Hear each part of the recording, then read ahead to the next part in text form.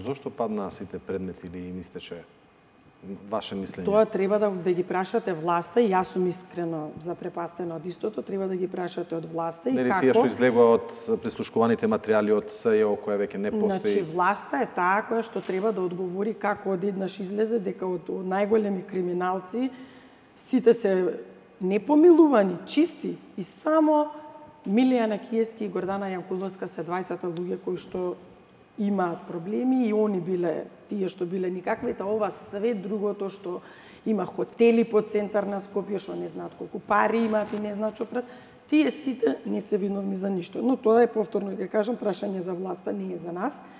Јас можам да зборам дека покрај ова имаме исто така предвидено тело во кое што ќе учествува министерот за финансии, министерот за внатрешни работи, директорот на финансиска полиција на царина, на управа за јавни приходи, организиран криминал и управа за перење пари.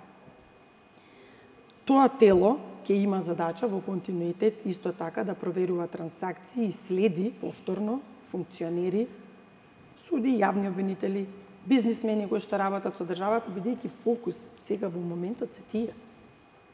И да видиме кој работи во согласно со законите, тука нема што да зборуваме секоја чест и за поздравување, но да видиме што се случува и во другиот дел, кој не работи или работи спротивно на закон, има постапки за нив соодветни.